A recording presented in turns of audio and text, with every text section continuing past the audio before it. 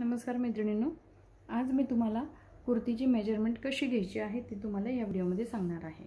आणि व्हिडिओ जर पूर्णपणे आवडला तर व्हिडिओला लाईक करा शेअर करा आणि आमच्या चॅनलला सबस्क्राईब करा.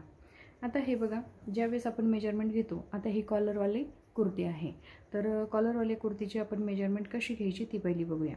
आता ज्यावेळेस आपण ब्लाऊज ह्याची उंची मोजतो ड्रेसची उंची मोजतो तर पूर्णपणे आपल्याला त्या कॉलरपासून आपल्याला पूर्णपणे उंची घ्यायची आहे.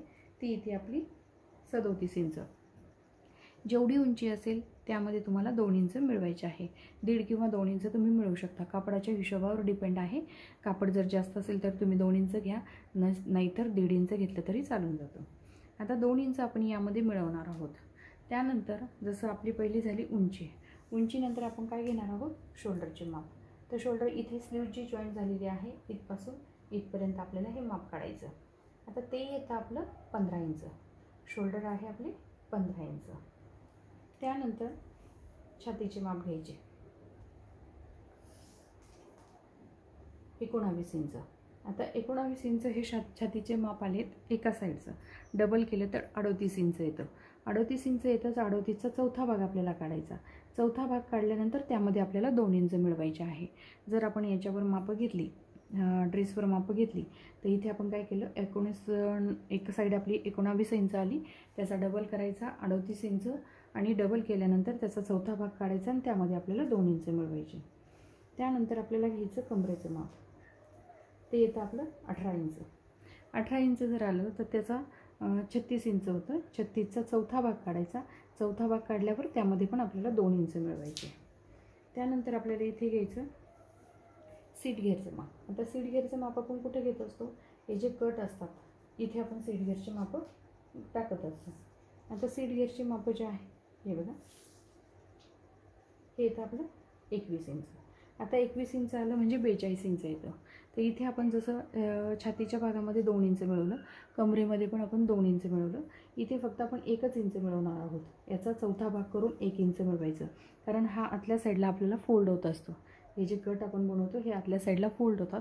म्हणून आपल्याला एकच इंच बनवा मिळवायचं. आणि त्यानंतर आपल्याला घ्यायचं आहे घेर.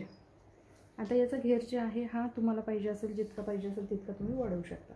आता हा आहे आपला बावीस इंच. बावीस इंच आल्यानंतर म्हणजे एक साईड आपला एक पार्टचेच बावीस इंच आलं. तर यामध्ये पण आपल्याला एक इंच मिळवायचं. आता ते झाल्यानंतर इथे आपल्याला बाहीची उंची मोजायची. शोल्डरच्या बिलकुल सोबत ही उंची मोजायची. पाच इंच आपल्या बाहीची उंची येते. त्यानंतर आपल्याला याचा दंडघर दंडघेर मोजायचा. साडेसहा इंच आपला दंडघेर येतो. आता हे बघा ज्यावेळेस कॉलरवाल्या कुर्तीची आपण मापं काढतो. तर ती कशी काढायची? पहिली आपण उंची घेतली. उंचीमध्ये आपण दोन इंच मिळवले. नंतर आपण शोल्डरचे माप काढले. शोल्डरचे माप काढल्यानंतर जेवढं शोल्डर असतं त्याचा निम्मा आपल्याला घ्यावा लागतो. नंतर आपण छातीचं माप काढलं. छातीचा डबल करून जसं एक साईड एकोणावीस इंच आलं तर आपल्याला अडोतीस इंच करायचं डबल करायचं. ज्यावेळेस आपण कापड डबल फोल्ड करतो आणि फोर फोल्डमध्ये आपलं फोल्ड असतं तर त्याचा चौथा भाग काढायचा आणि त्यामध्ये आपल्याला दोन इंच मिळवायचे. कमरेचा भाग घ्यायचा. जितकं आपलं कमरेचं माप असेल त्यामध्ये आपल्याला दोन इंच त्याचा चौथा भाग काढून दोन इंच मिळवायचं. सीट घेर आपल्या इथं जे कटचा भाग असतो तिथं आपण सीट घेरचं माप टाकत असतो. जेवढं आपलं सीट घेर असेल त्यामध्ये आपल्याला एक इंच मिळवायचं. आणि घेरा शेवटी खाली असतो तो घेरा आपला.